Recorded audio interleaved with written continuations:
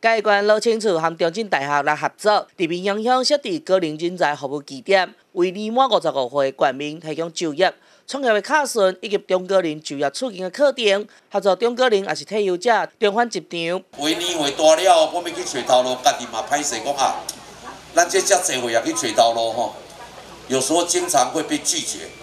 那会被拒绝啊，有时候对家己的心情啦吼，啊对家己的民主吼，拢感觉啊足野的吼。那今麦有一个服务据点有这个好处，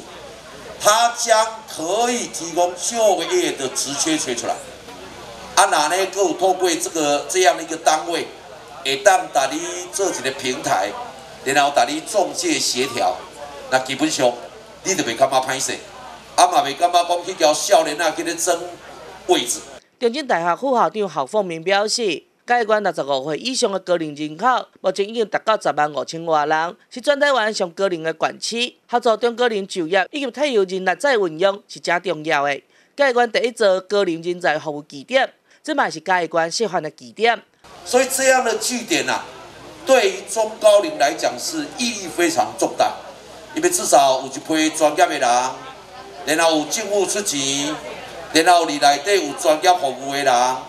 然后将这个职缺吹出来，然后叫你参详，看你的能力适合去做对职位，我认为这非常好。所以这个据点基本上意义重大，让我们呢这个高龄就业、银发就业变成一种风气。那如果家中有长辈的，他们愿意工作，多鼓励他；有困难的话，我们会提供一条龙的服务，从诶有就业的意愿，一直到训练，一直到。